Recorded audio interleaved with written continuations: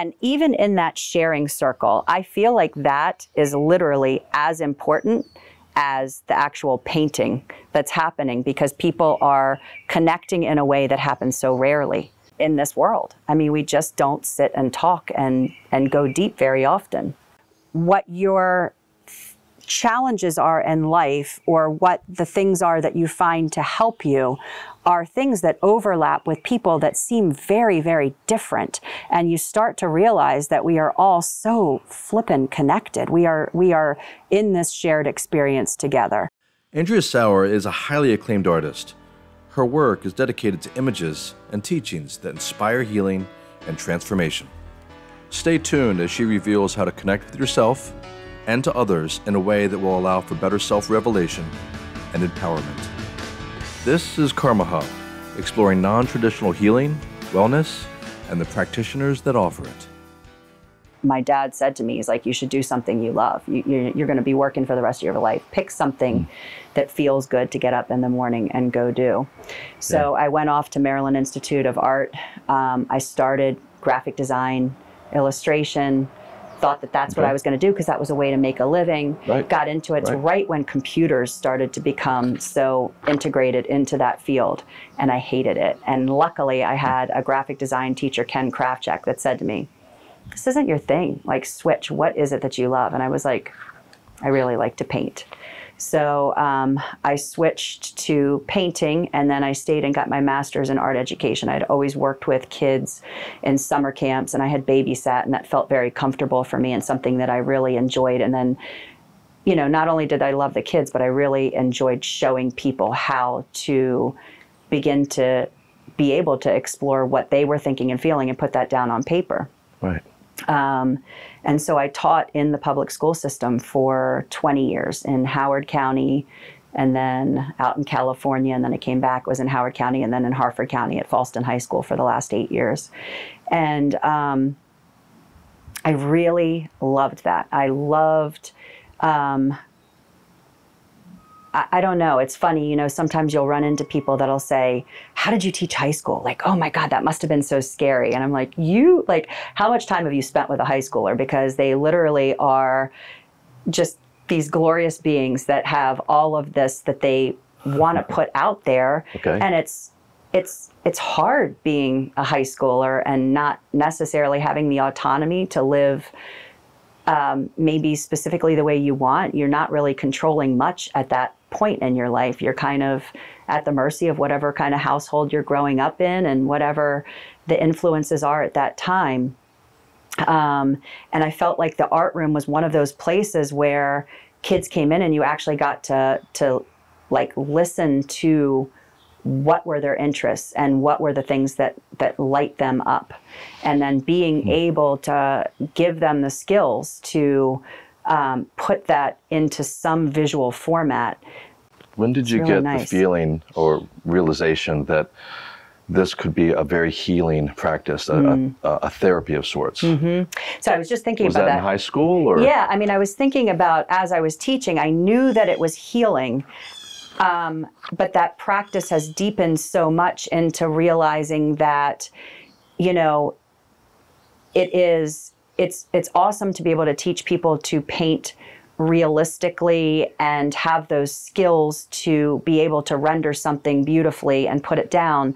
But there is like I love teaching that way. And now also I love teaching the way that I am now where I would think it's even more therapeutic because you're going deeper with that person in a way to think about maybe some of the things that not only light them up, but some of the obstacles that they've had in their life, and also processing if there's gifts that have come from the obstacles that they've been through. And so, how is that revealed in a, in a painting? Um, so, in the classes, I I come up with prompts to try and get people to think about using visual imagery that will allow them to create symbols for things perhaps that they have been through. So, mm. for instance, um, when I teach my medicine painting classes, I really think about what season we're in. That's another thing that I'm really starting to pay more attention to is, you know, when we're in wintertime, our bodies really need to slow down, much like trees and nature. We, I mean, that is what we are, right? So it's like, it makes sense. And if we, I think our society has kind of wandered a path where we've gotten away from paying attention to what's happening outside in nature. Um, and so when I'm in the medicine painting class, by thinking about what season we're in, if it's spring, what are we trying to nurture? What are we trying to grow? What are we trying to bring forth? In wintertime, what is it that we need to really protect? Um, that we know are things that hold us and are resources for us. Um, and and then saying like perhaps you might visualize that as seeds like in the springtime what does that look like? Or what does it look like to think about in wintertime um, creating maybe a landscape that is more indicative of what appears to be barren right? But then also looking at what are the practices that keep our internal landscape really lit up and and held in that time frame. So and, and in what way is that like therapeutic? I think that everyone, I know I do, um, have things that I come across in my life that are very nurturing or are things that really hold me at certain times and then you tend to get busy in life and you wander away from those practices. Or sometimes in the classes it might be that someone has never experienced perhaps a particular practice that any it could be that those practices might be even pulling an oracle card when you're first coming into class and realizing that there are synchronicities that come up in life and that if you pay attention and you're open to those synchronicities, perhaps that's something that makes you feel more held throughout your life if you're paying attention to that. So that might be something that is new in class, if that makes that sense. Makes sense, yeah. Yeah. yeah. Yeah. So does this have a way of kind of um, tapping into the subconscious and revealing information that you may not even really even know consciously? Yeah, I would say so. I feel like my belief is that things happen for a reason. So part of the beauty of those classes, the medicine painting classes, is that when we come in and we meet, the first part of the class is um, checking in. What we do is called a check-in, and people will kind of say where they're at in that moment, whether they're on a scale of one to ten, one being really really low worst day ever 10 being you know the best day ever and really kind of thinking about where are you in this day and then asking a simple question like um, what is something that you're grateful for this week or what is a practice that you do to bring yourself back to a place of centered when you're really feeling flustered or triggered. And even in that sharing circle, I feel like that is literally as important as the actual painting that's happening because people are connecting in a way that happens so rarely right. in, in this world. I mean, we just don't sit and talk and, and go deep very often, you know? So you have a quote on your website. Yeah. And I love it. Art, enable, art enables us to find ourselves and to lose ourselves at the same time. For whatever reason, that quote really resonated with me. Mm-hmm one of the things that I love to do is um, I run retreats, and I I love that space because those retreats are based on not only checking in with people and having that time to connect in a really deep way to talk about what people are celebrating at this at this particular juncture in their life and also what are some of the challenges. Um, because it's always both right? It's always there's you know multiple things that are happening that are really awesome and lovely if you take the time to pay attention to all the things that we have to be grateful for. And then also, everyone I know is dealing with with big big things, right? And so the retreats are really nice spaces to to kind of move into that, and then they are always guided by um, creating some kind of art. And and for me, that the retreats have become more about not worrying about creating some beautiful, gorgeous piece of art, which inevitably happens. I mean, everyone walks out with something that's stunning. Um, but also that the process and that creative process is sort of what you're talking about with being able to lose yourself in that moment where you are not thinking maybe of the laundry list of all the things that you're trying to produce, create, or or stay on top of, you know, laundry going in the, you know, and what's for dinner and all of those kinds of things. You're really moving into a space where you're opening yourself up to, I think, being present in that very moment, like mm. really being present in that moment and just trusting and knowing that whatever is supposed to come forth is exactly what's going to come forth.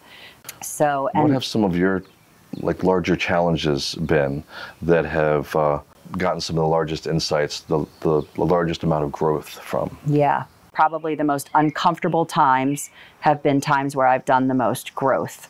Right. Um, I guess last year uh, I had a stroke um, while I was driving on wow. Route 24 up here in Bel Air, wow. and um, and from that stroke was taken to the hospital and realized that I had a hole in my heart, which is wh- why a blood clot went to my brain. And then also um, the oh. following day, they came in and gave me um, the awesome news that I had three brain aneurysms, two on the right and one on the left.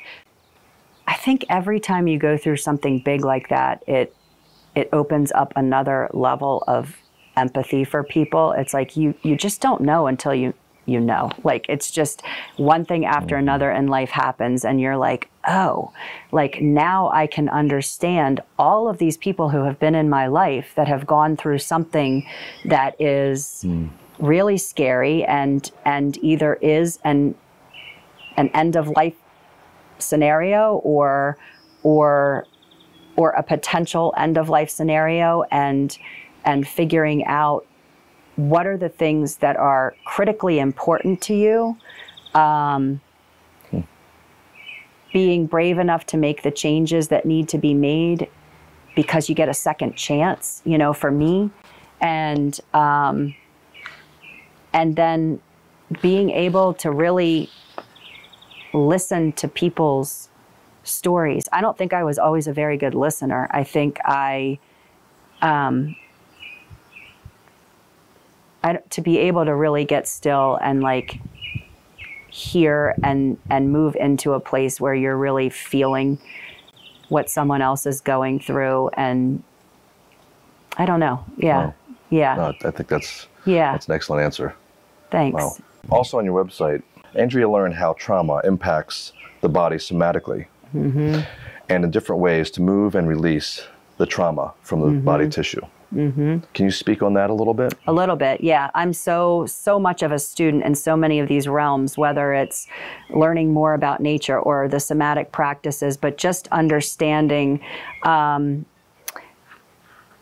you know, both how things like tapping, how EMDR uh, therapy, um, how these practices work for instead of storing trauma in your limbic system, how you can use movement to change your energy and kind of release that. So even um, when people come to do my medicine painting classes, I've really started to incorporate so many different chunks of things that um, that I'm learning. You know, right now like even the t- like how to do you know tapping to to be able to kind of move so you, you use some of these other methods i do. i incorporate to... everything i can think of. Yeah. Yeah. I see. Okay. I'm i'm yep. getting a clearer picture. Yep. So um, whether it's coming in and leading people through a meditation to ground before we start painting right. whether it is anointing yourself so that you're really thinking about you know what is it that you are um, what is it that you what is your intention? Like really thinking about intention as you begin your painting? What you know is it your intention to release um, a particular trauma that has happened um, um, even using movement and teaching people how to like you know, I'm not going to stand up, but like standing up and like, yeah, doing body movement to, to release okay. energetically what's going okay. on in that moment is. So you bring together a number of different methods at your um, workshops, programs, um, retreats. Yep.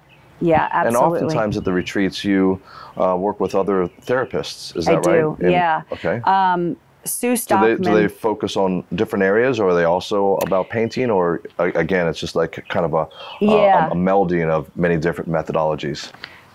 We have definitely brought into the retreats people that are really gifted, tai, like in Tai Chi and and um, yoga, um, and different different practices. Mostly, however, I work with a woman named Sue Stockman, and we have similar background. She is an amazing artist, um, jeweler, you know, mosaics, mm. so many different modalities, so many different media. She really understands how trauma is stored in the body, and we both work together in Talbot County um, through social services um, with with teens that have been referred there. Um, oh, okay. Mostly with sexually abused teens. Wow. Okay. Um, and and using that that practice of sharing um, and the active listening, and then moving into an art piece that allows them to move into that place where they can find themselves and lose themselves. So, what brings you happiness? Hmm as I continue to learn things, I just am so excited when I'm out in nature. That's one of the things that really lights me up. And and shamanism and the study of shaman, shamanism and really understanding how to have more of a like reciprocity with the earth is really important to me and it keeps integrating further and further into the retreats that I offer into the classes that I offer and into my own artwork that I show in galleries um, and commissions I do. And um, I am by no means an expert. So as we were sitting here and I was noticing uh, this plant, I have, you know, the app on my phone and I was looking on plant.net and it's Indian pokeweed. And I was hmm. thinking, well, what does this do? So I looked up medicinally what it does, and it helps cure inflammation and cancer. And it's like we've gotten so far, I feel, from where we sometimes understand how many gifts like there's just the the complexity of the relationships in nature mm. that it's it's always amazing to me um, and I was going to point out, so even in the corner down here of the painting where this beaver is, I ended up printing some um, columbine down into the corner. And in the retreats that I offer too, just really becoming more aware of what I am integrating into the artistic practice so that we are blessing the water that we are using. We are using water that is coming from the Chesapeake Bay when we're doing the retreats on the Chesapeake Bay, um, really paying attention to what the natural elements are and giving thanks for how we are supported in every single way that we need to be through nature. Um, and I and I find that that is something that just is becoming more and more important in what I'm incorporating. And that's part of what my my medicine painting class is about is too is the stories that we tell ourselves sometimes in life might have served us in that moment mm-hmm. but they might not serve us now it might be something that that we need can to you, let go of can you share with us maybe some success stories that you've had with you know participants that have come in and mm-hmm. and maybe mm-hmm. they found themselves unknowingly express some past mm-hmm. trauma or revealing some issues that now they're aware of mm-hmm. um, yeah, um, I think.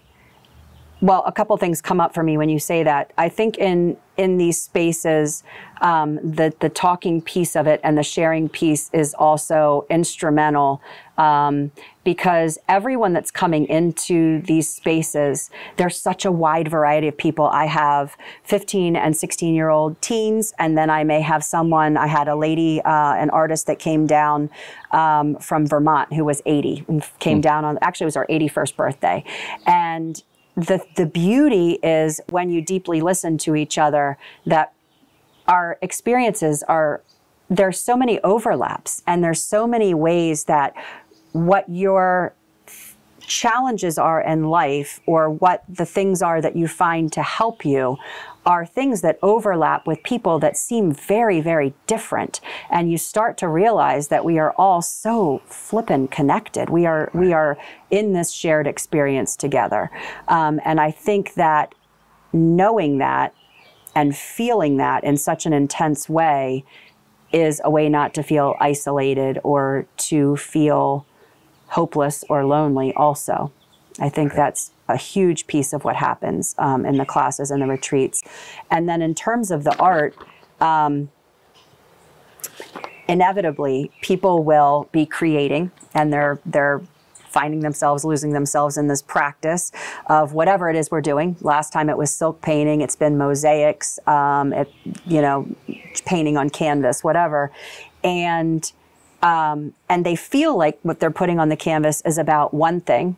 And then we will take a pause and step back, and certain imagery will reveal itself, and inevitably, um, synchronicities will come up, and they'll say, Oh, wow, I'm seeing this in here, and that makes sense to me because right now I am kind of having this struggle, but this sort of makes sense. I'm, I'm, you know, this has now appeared to me, or maybe I need to pay attention to this more. So, wow. yeah, I think the imagery itself also becomes revealed as they're working too. If you were to summarize what it is you do, what, what's the, what's your broad stroke? I think my hope is that I am creating uh, spaces for people to come in and connect with one another, um, but also have time and space and um, permission to play.